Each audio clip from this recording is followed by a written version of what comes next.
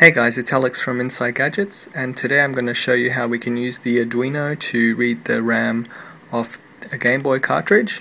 The one that I'm using at the moment is F1 Race and I'll just show you the game save that I've got at the moment. I'm just up to track 2,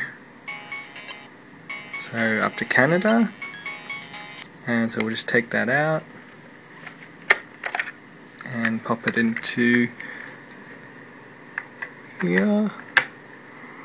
And we'll just go over to this and load up this Python script.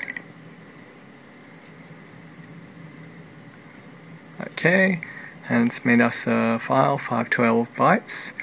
And we'll open up BGB just a Game Boy emulator and we'll just make sure that um, there's no save at the moment.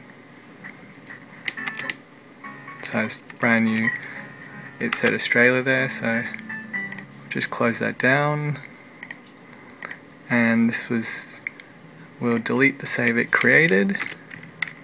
And we'll re rename this one to F1 race.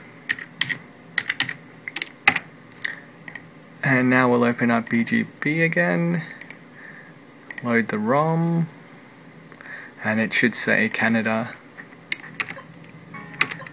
Yep it does.